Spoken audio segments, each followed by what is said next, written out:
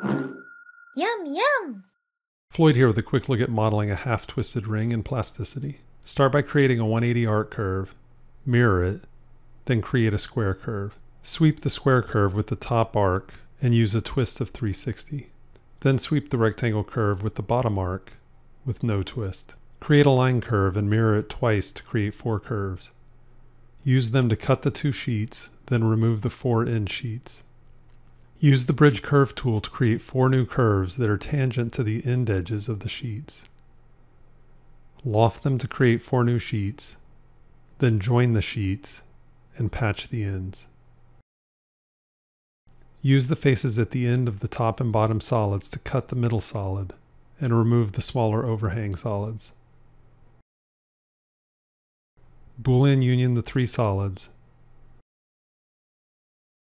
Then repeat the steps for the other side to complete the ring and you're all set.